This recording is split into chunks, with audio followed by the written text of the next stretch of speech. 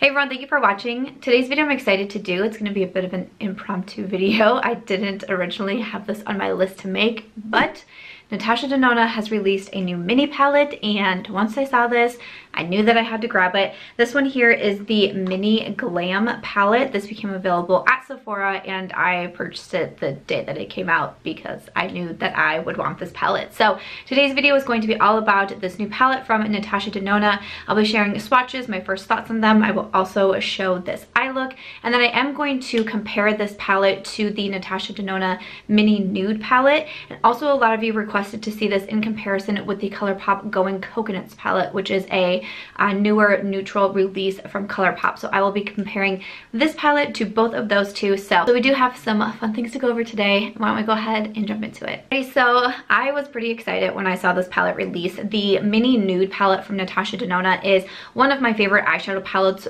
probably my most used eyeshadow palette at this point.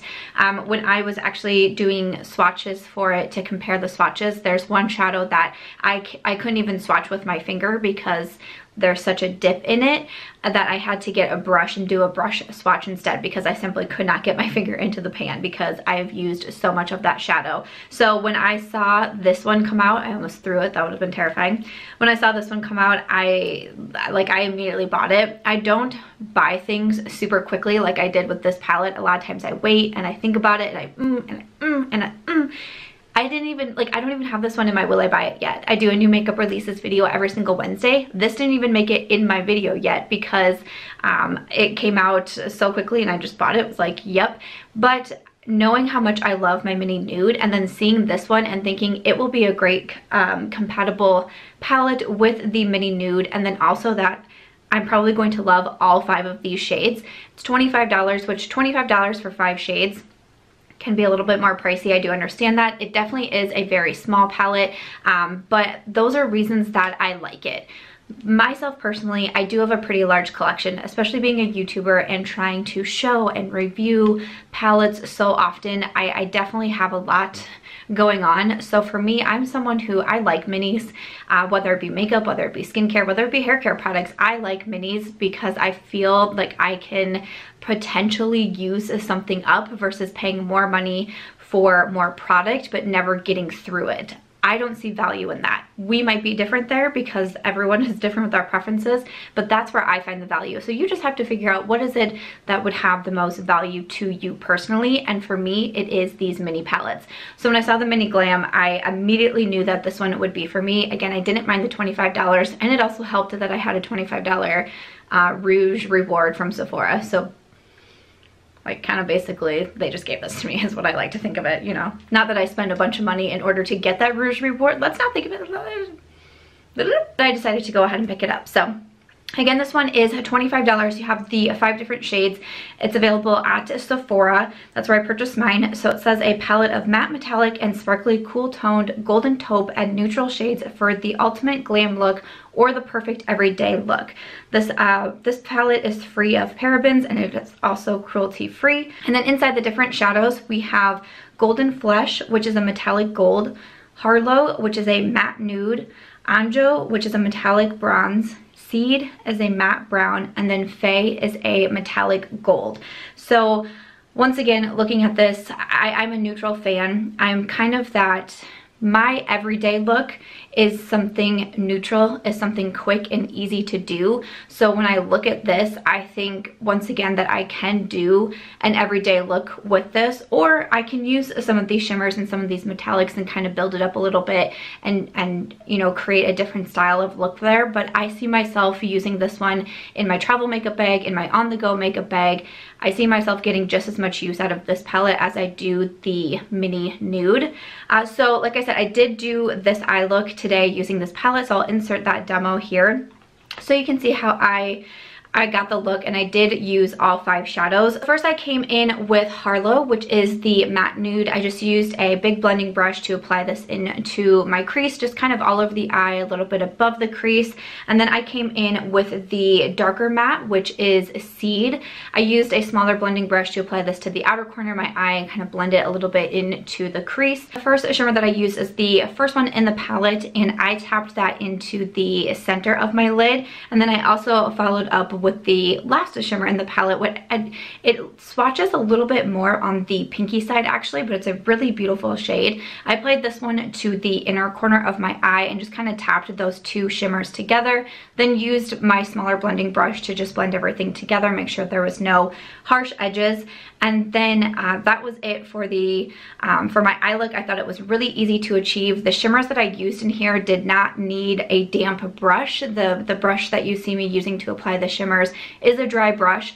This is another reason why I really like these palettes and why I really like them for kind of like my on-the-go palettes too because I don't need to worry about having a setting spray. You're still gonna get a really beautiful shimmer. You're still gonna get an oomph in there. There's not a ton of fallout. I will say that the last shade is more of that metallic color and it has a little bit more kick up uh, than it does the other two shimmers in here. So I can get a little bit of fallout on the, on the face, but not anything extreme, not anything that's going to ruin a makeup look. But I wanted to point that out uh, about that shadow. And then on the lower lash line, I just did the center shades. I first took Seed, the uh, darker matte brown, and applied it to the lower lash line. Then I added a little bit of the darker shimmer, and then I blended it all out with the matte nude. And then for the inner corner, I once again it came in with the lash shadow and I used that for inner corner and also brow bone highlights. So really simple and easy to achieve this look. I used all five shadows and I really enjoy all five shadows.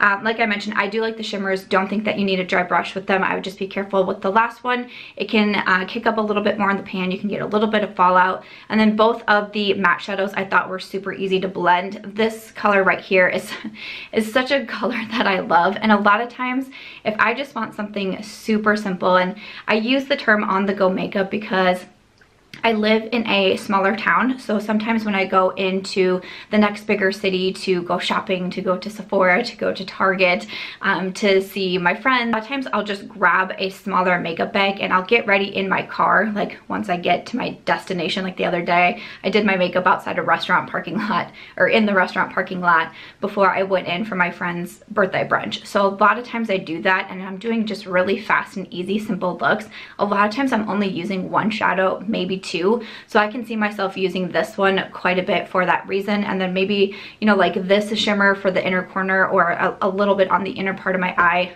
and mascara and calling it a day. I've been doing that a ton, so it's another reason why I thought this would be a great one. Um, not only because I could grab these two and they're gonna take up such a small amount of space in my on-the-go makeup bag, but because I'm going to use a lot of these shadows. So uh, again, thought the mattes were super easy to blend. Even the darker matte thought it was really easy to work with. So I like the quality in both of these mini palettes from Natasha Denona. It's another reason I don't mind spending the $25 on such a small palette because I know that I'm going to get a lot of use out of them. So first thoughts, again, I've only swatched the palette and used it one time. So I, you know, of course I wanna make sure that I say that, but I feel like it's the same as the mini nude and I feel like I'm going to continue to be really happy with this one and having it be, you know, kind of a staple in my collection. So, so far so good. I'm pretty happy with this purchase.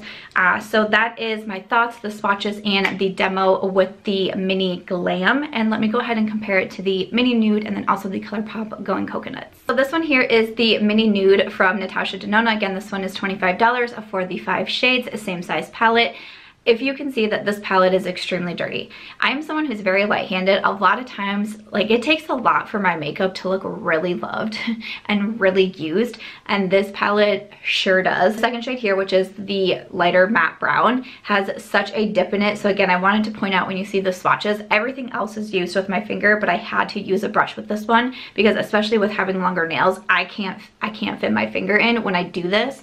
I'm not actually touching anything because there's such a dip in there. So just wanted to point that out. But I think that these are similar. I don't think that they're exact dupes to, to one another, which I wouldn't have expected them to be. But I think it is helpful to see the comparisons, see them side by side, see the swatches side by side, because maybe you don't have either of these, but you really only want one, but one would call to you more than the other. Maybe you have the mini nude, but you're trying to decide would the mini glam be worth it. Honestly, if you like these kind of colors, I like I could see it being worth it to you, but again, it's gonna be personal preference. It's gonna be based on your makeup collection and all of that. But um, again, I like these palettes together and I think that they would be great to use separately also so I'm really happy with them. There is no exact color dupes in here. The one that I was most curious about was the two matte browns but uh, hopefully you can see in the swatches and even just by looking at them in the pan that they are different and the mini nude has almost just like a hint of of red to it almost like like a hint of like auburn to the shade but those were really the only two when I looked at this that I was like maybe those are similar to one another but I, I I don't think so. I think that they are different shades. And in both of these palettes, you have two mattes and then the uh, three shimmers in here. This one in the mini nude is more of the metallic, the one that has a little bit more fallout. Like I mentioned, the last shadow does in the mini glam. Uh, but again, I don't think that they're super similar to one another. I think that you could still be happy with both if you like this color scheme. And I'm really happy to have them both as well and maybe I can give this poor shadow a little bit of a break. Because again when I do the on the go makeup look a lot of times I'm just using that shade in my crease and then also on the lower lash line and then I'll go ahead and with like this shimmer that's what I'll put in the inner corner in the inner part of my eye mascara and I'm done. So like I said, a lot of people uh, asked if I would compare it to the Going Coconuts from ColourPop. So this is a bit of a newer release from ColourPop. This is a nine pan palette and this one is $12. So obviously there is a significant price difference. There's a quantity difference with this one. The ColourPop palette does also include a mirror, which I do like. The Natasha palettes are obviously smaller in size, um, a little bit easier. I mean, this is like a pocket palette type of thing. You could throw it in your purse. I mean, you could even throw it in your clutch if you wanted to. But the ColourPop does obviously offer benefits too of having a few more shadows in here and then also having that mirror. a bit of the differences between the two palettes. I actually really do like the ColourPop Go Coconuts palette. I have used this one quite a bit. Again, I am a neutral fan. I like really quick and easy type of looks. I tend to gravitate towards them a lot. I like the ColourPop eyeshadow formula a whole bunch. I have a lot of palettes from them. I've purchased a lot of palettes from them. Uh, this one was sent to me in PR from ColourPop, but I really enjoy it. I, I do highly recommend it. And again, for the $12, I think that that's fantastic. I will say when I got the first comment of could I compare these two, I was like, oh yeah, I think that these are actually going to be really similar to one another. Once I got this palette in the mail and opened up both palettes and then swatched them both, they're not quite as similar as I thought, but there are some shades that I that I do think are very similar to one another. So in the ColourPop Going Coconuts palette, I swatched five that I thought would be the closest in the mini glam palette. So First, I swatched Get Kraken, then I swatched uh, Lovely Bunch, then De Coco, then I did Nutty, the dark brown, and then Cocoa Crush. So with these two palettes, the two shades that I thought were most similar to one another is the Middle Shimmer in the Natasha palette, and then De Coco from ColourPop, and then also the last shimmer here, and then Cocoa Crush. Those are really the only two that I thought were really similar to one another. The first shimmer in the Natasha palette, I didn't really feel like there was much of a contender in the ColourPop, but I went ahead and swatched, um, what was it, Get kraken Didn't really seem similar. Even the, both the lighter and the darker, I didn't think there was um, an exact dupe in here. So it was just those two shimmers from the palette that I thought were similar. Maybe those are the two that you are most interested in and it would make more sense for you to do the ColourPop and get more shadows. Maybe it would make more sense for you to do the Natasha and have a smaller palette. I mean, again, it's gonna be up to, to you and your preferences, but I actually thought the ColourPop Going Coconuts was going to be much more dupeable than it actually ended up being. Again, similar tones, you know, similar color scheme and all of that. Really was only those two shadows that I thought were, you know, incredibly similar to one another. But again, you have a quantity difference. You definitely have the price difference with that one. But I hope showing uh, these two next to each other and showing these swatches gave you an idea of if you would need one or the other, or if you already have one, would you need the other one. Uh, I do hope that that helped you out. But other than that, um, that's going to wrap it up for today's video. Again, kind of an impromptu one for today, but I knew that I wanted to get my hands on this palette. I think that this was a, a good purchase purchase for me. It's a palette that I'm going to use a lot and it's one that I'm really, really excited for. So I was excited to share this with you, show you the eye look that I did, and then also do the comparisons with the other two palettes. I hope that you enjoyed this video and you found it helpful. Let me know your thoughts down below. Are you interested in this palette? Um, are you not really feeling it? Is it not really your style? That's totally okay if so, but uh, thank you guys so much for watching. Thank you for all of the comments letting me know this palette was coming out and also requesting the comparisons. That really does help me out so much. So if you guys did enjoy this video, make sure that you give it a thumbs up. I hope that you also consider subscribing before you go, and I will see you in my next video. Bye.